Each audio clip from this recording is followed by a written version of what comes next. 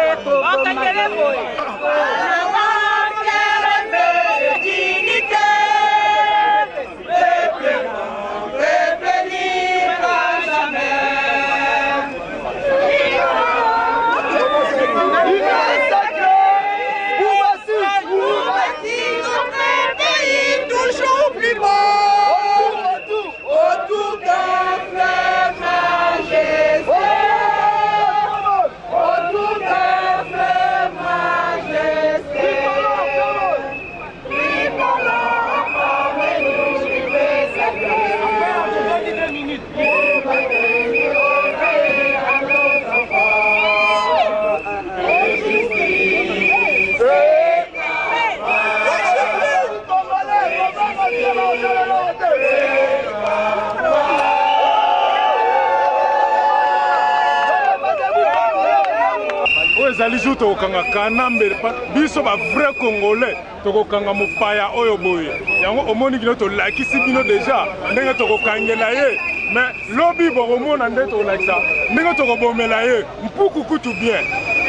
amen ozomonaka mambo nde ye oza na problème olobaka mboka na biso tomona viol viol yango eza ka against the woman in congo with the children That is no cool. Viol na bana ya ba 11 ans, bana 4 ans, ba mama ya 85 ans, c'est pas bon. Ba mama oyo ba soda bazo violer. Baza ba mama oyo ba bota mibali. Soki lelo ba président de la République, ba ministre,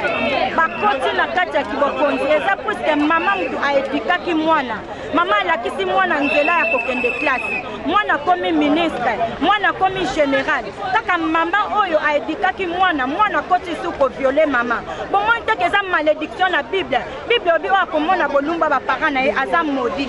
ebongo militaire nini wana akendaki koyekola na klase ke mpo na kokende bilumba mpo koviole kaka bamama bamama basali nini na congo biso basi toya na pasi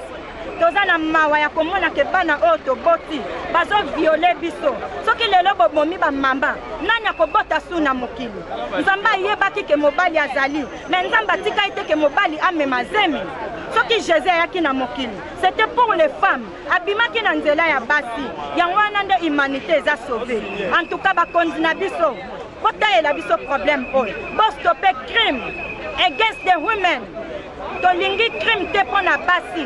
bokende kozwa badiama na bino nde bolingi me botika peuple congolais na tranquillité nyonso c'est ça oyo ngai nazalaki nango besoin koloba bon tolingi totinda mpe message fort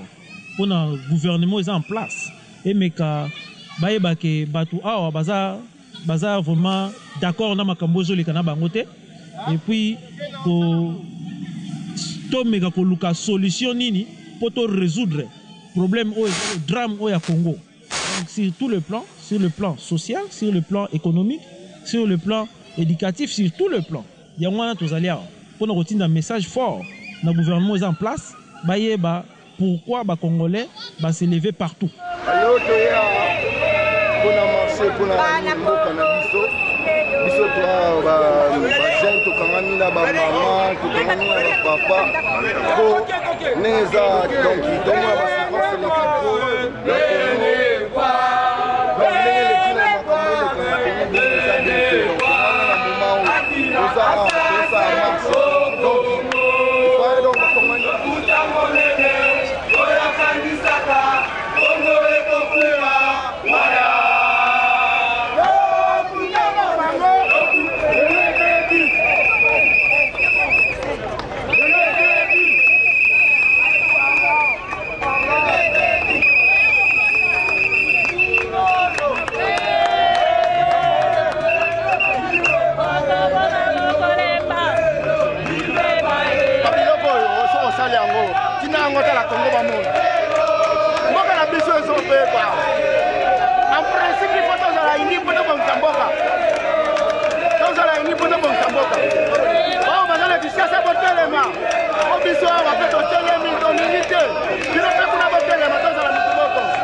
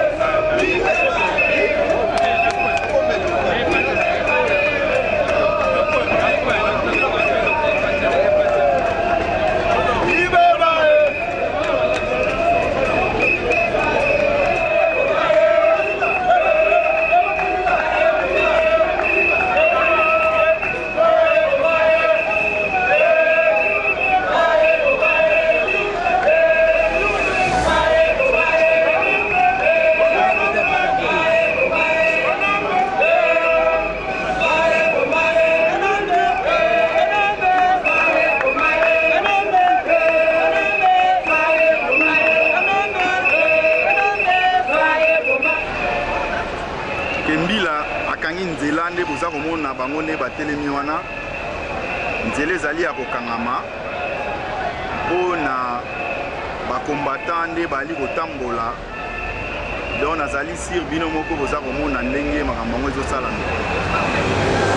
nde boza komona bakongole baza koyemba bango wana baza koya mpe boza komona basekiriti mpe bambolombolo ndenge bazali koencadre bango